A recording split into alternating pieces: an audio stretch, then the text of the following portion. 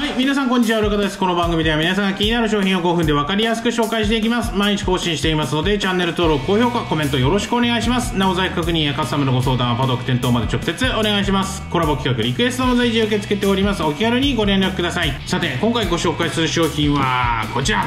UFC S タックタイプ AK マガジンポーチシングルリーズナブルなマガジンポーチ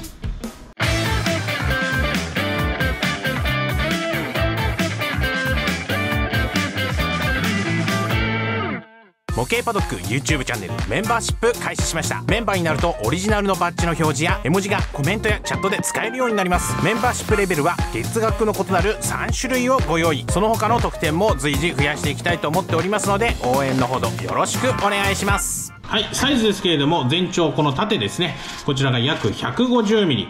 で、幅が約 92mm。奥行きが約 48mm となっております。で、重量は 126.8g。これは実測で測りました。マガジンはね、含めません。本体だけね。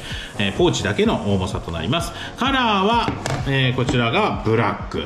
えーこちらがタンカラとなっております。型番は UFC MP050 となります。で、米軍やシューターの間で評判の S タックカイレックスインサート式ポーチ。を再現しているということでですねこのインサートのテンションでマガジンを保持するタイプとなっておりますでこの上蓋がねありませんので素早いドローが可能とで中はねこのようにインサートがね入っておりますで入れる時もね結構こういう感じで、はい、すんなりと入るんですけども絶対落ちないという仕様なんですがこちらが今これ東京マリンの次世代用 AK シリーズのマガジン。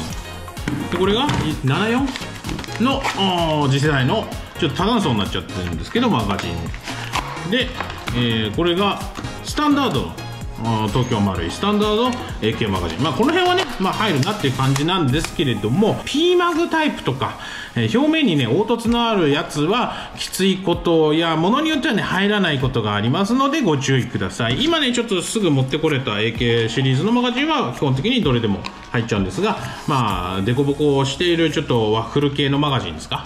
あれらへんがちょっと引っかかりが強いかもしれません。はい、いかがでしたでしょうか？皆さんもぜひ使ってみてください。さて、今回ご紹介したのは UFC S タックタイプ AK マガジンポーチシングル。ご購入は模型パドックのホームページからお願いします。画面の QR コードか概要欄にもリンクがありますのでチェックしてみてください。この番組は毎日更新しております。皆様からのチャンネル登録、高評価、コメントお待ちしております。コラボ企画、リクエストも随時受け付けております。お気軽にご連絡ください。それではまた明日お会いしましょう。バイバイ。